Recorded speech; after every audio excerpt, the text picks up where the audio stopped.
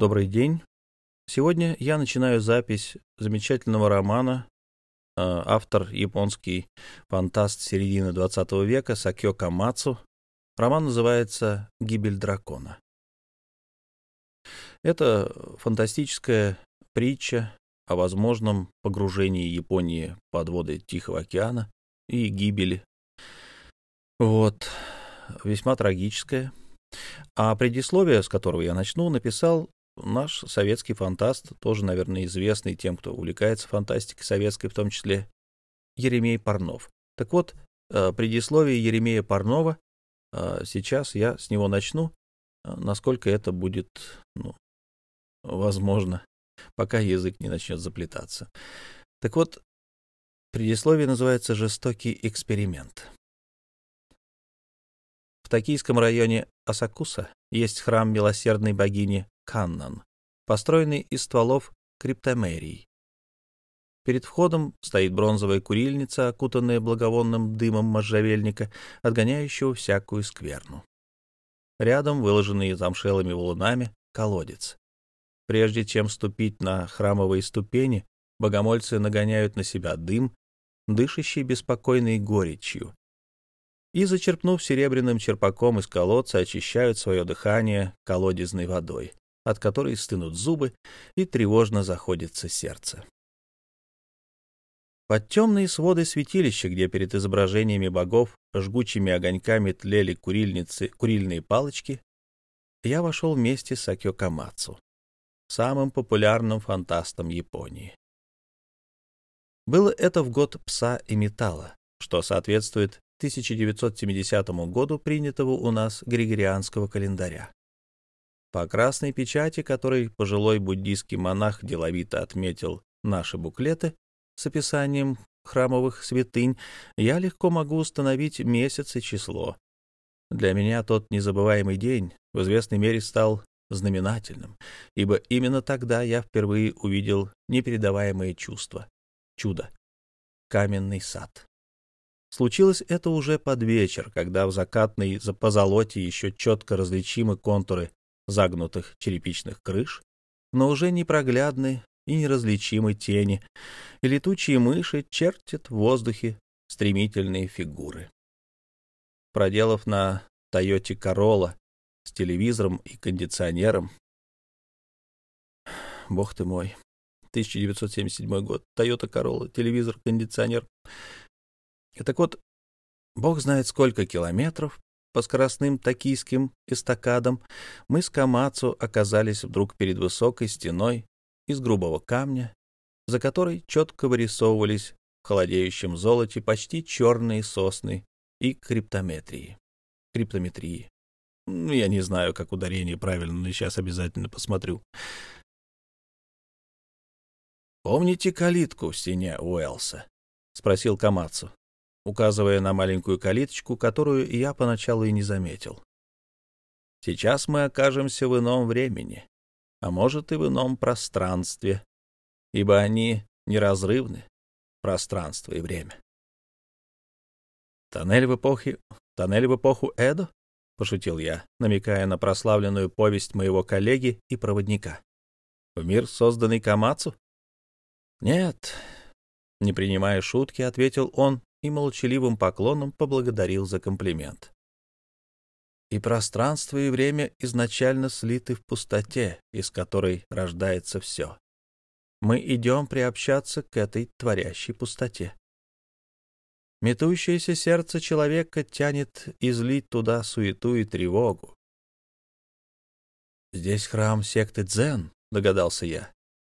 «Хай», — утвердительно улыбнулся Камацу, и мы, ускоряя шаг, пошагали по уложенной неровными каменными плитами тропе к Торию, воротам, выполненным в виде знака неба. Что знал я тогда об учении дзен? Очень немногое. Мысли мои были смутны, ожидания ошибочны. Секта дзен не признает идолов, писал Исакури Кавабата, первый японский писатель, удостоенный Нобелевской премии. Правда, в дзенских храмах есть изображение Будды, но в местах для тренировок и в залах дзен нет ни статуэток Будды, ни икон, ни сутр. В течение всего времени там сидят молча, неподвижно, с закрытыми глазами, пока не приходит состояние полной отрешенности. Тогда исчезает «я», наступает ничто. Но это совсем не то ничто, что понимается под ним на Западе, скорее наоборот. Это вселенная души, пустота, где вещи приобретают самостоятельность, где нет никаких преград, отречений, где есть свободное общение всего со всем или всего во всем.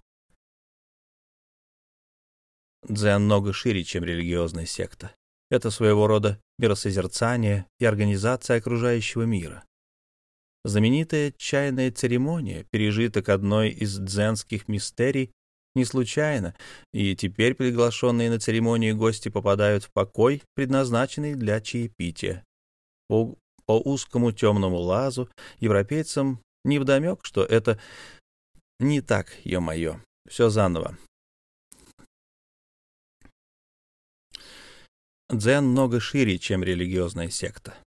Это своего рода миросозерцание и организация окружающего мира. Знаменитая чайная церемония, пережиток одной из дзенских мистерий. Не случайно и теперь приглашенные на церемонию гости попадают в покой, предназначенный для чаепития по узкому темному лазу. Европейцам невдомек, что это символизирует блуждание духа Точно так, как понимают они, что пузыри, тающие фарфоровые чашки, указывают на приходящую и жалкую непрочность всего сущего. Именно в этой лопающейся пене, тщательно взбитой бамбуковым венчиком, и заключается смысл церемонии, а не в самом чае, зеленом и неподслащенном. Искупо написанное на тонком шелке какемона будь то иероглиф или ветка сосны, которые вы обнаружите в нише вашего гостиного номера, гостиничного номера, может иметь отношение к дзен, даже искусство аранжировки цветов в вазе. Икебана особенно способно выразить идею пустоты, освобождение от форм бытия, восстановление подлинной правоприроды человека, возвращая... Ну, в общем, Еремей Парнов конечно же, больше нас разбирается в дзен. Даже искусство аранжировки цветов в вазе экибана способно выразить идею пустоты, освобождение от форм бытия, восстановление подлинной первоприроды человека, возвращение к вечным истокам. Как сказать, в чем сердце суть? Шум сосны на суми-э. Суми-э Картина, нарисованная тушью. Эти стихи принадлежат поэту-монаху, жившему в XV веке. Горсть воды или небольшое деревце вызывает в воображении громадные горы и огромные реки. В одно мгновение можно пережить таинство бесчисленных превращений. Вторит ему средневековый мастер Икебаны. Та же идея отражения большего в малом преломленная сквозь пустоту, заложена и в неповторимых японских садах. Минуя храм, мы обогнули крытую веранду и очутились на пустыре, с трех сторон огороженном высокой каменной стеной. Здесь были лишь камни разных размеров, неровные и замшелые, и мелкий гравий, который с помощью грабель уложили в нехитрый концентрический узор наглядная символика океана, окружающего скалистые острова. С какого бы места вы не смотрели на эти камни, вам никогда не увидеть их все сразу, — объяснил Камацу. Недосказанность природы. Он умолк. И за все то время, что мы пробыли в саду, молчаливого созерцания не проронил больше ни слова о чем он думал, прислушиваясь к зову пустоты. Было ли дано ему пережить Сатори, мгновенное озарение, прикрывающее суть вещей, не знаю. Зато на обратном пути, когда за полироидными стеклами машины уже неистовствовала световая феерия гинзы, Камацу неожиданно сказал. «Для меня эти камни олицетворяют Японию. Непонятной игрушкой стихийных сил она поднялась из вод и в один кошмарный день исчезнет в волнах, унося в небытие все великое и неизменное, что успело взрасти среди нагромождения камня. Я не придал тогда значения этой реплике, ибо догадывался, что лишь с очень большой натяжкой можно уподобить сад камней эдакой модели островной страны Ниппон. Не возражая вслух, я по японскому обычаю промолчал и не произнес вертевшегося на языке слова «отрешенность». Теперь я сожалею об этом, поскольку понимаю, что уже тогда Камацу замыслил свое будущее программное произведение «Гибель Японии». В русском переводе оно получило название «Гибель дракона». Дракон — символ Японии. Стоило мне погрешить против этикета, тому, кто привык считать молчание знаком согласия, это простительно, и мой собеседник, возможно, глубже раскрыл бы предо мной глубинную идею задуманной вещи. Теперь, когда я работаю над предисловием к русскому изданию уже законченного произведения, мне было бы куда легче истолковать его подтекст, его потаенный, а по японским канонам основной смысл. Впрочем, возможно, я ошибаюсь. Скорее всего, простив мою оплошность, Камацу едва ли позволил бы допустить себе неучтивость. На мое возражение он бы ответил только молчанием, знаком несогласия. Теперь, прочитав роман и даже посмотрев одноименный фильм, я совсем иначе понимаю его слова, оброненные на пути в отель Нью-Джапан ясным вечером 29 августа 1970 года. И меня снедает беспокойство и неуверенность в том, что я понял их достаточно глубоко. Ни тогда, ни два года спустя, когда принимал Камацу в Москве, я не заговаривал с ним о саде камней. И это понятно, потому что гибель Японии была тогда всего лишь вещью в себе, которую мог ощутить только Творец. Фабула романа очень точно, жестко детерминирована и вполне очевидна. Мне нечем ее дополнить.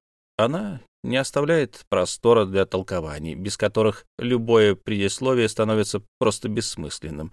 Речь таким образом может идти именно о подтексте, глубинной идеи, которая остается за кадром.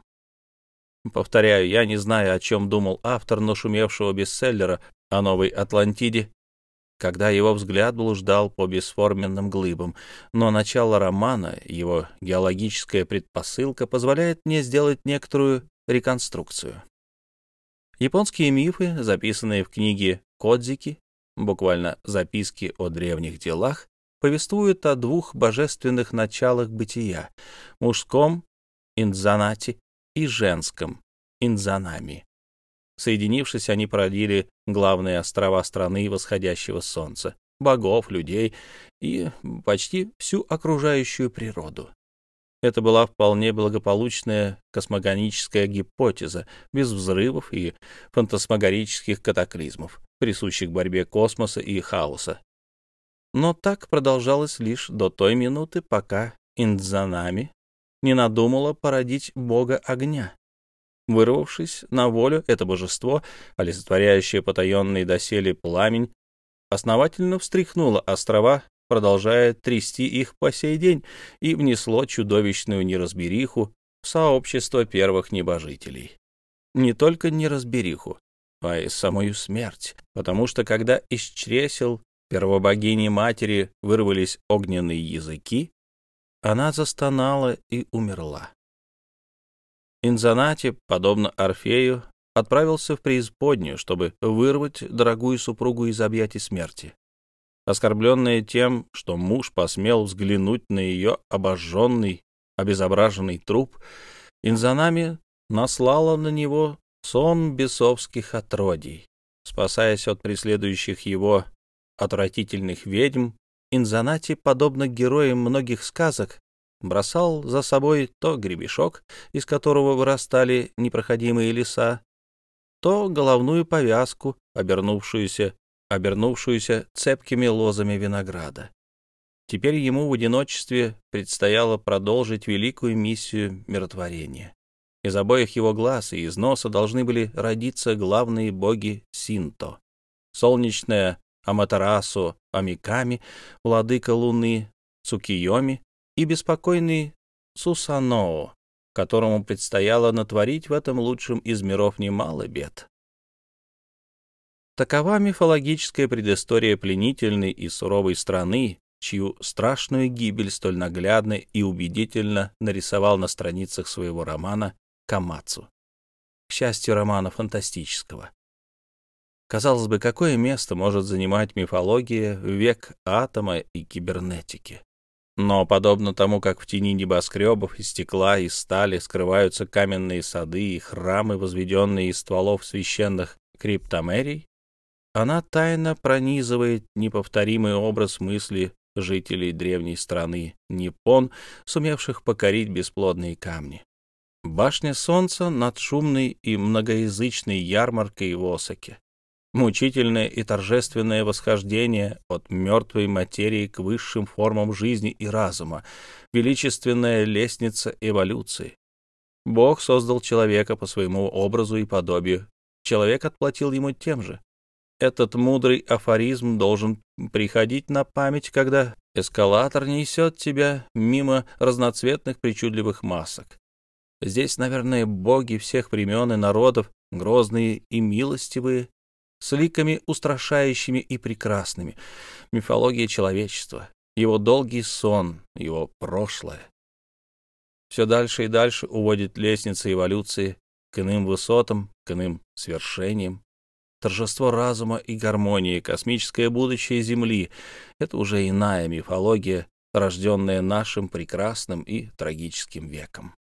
Не случайно, совсем не случайно в числе тех, кто задумал этот величественный памятник истории побед и заблуждений человека, были ведущие фантасты Японии. И прежде всего Сакё Камацу, которому принадлежит сама идея сооружения. Научная фантастика — уникальное детище культуры нашего века, мост между могучими путями познания, наукой и искусством.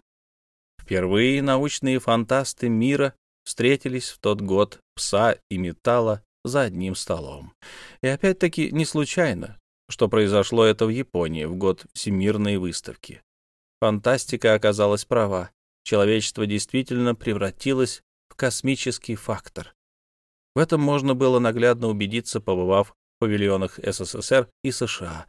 Но то, что фантастике, космической, земной и подводной, целиком был посвящен один из японских павильонов, удивило даже научных фантастов, конечно, не самих японцев, много сделавших для того, чтобы фантастика стала повседневным элементом культурной жизни их страны. Своеобразными приемами при исследовании грядущего пользуется Сакио Камацу. Сквозь атомный пепел пробивается зеленый росток. Суждено ли ему вырасти? Во что он превратится? В уродливого мутанта? Или надежда на лучшее все же есть?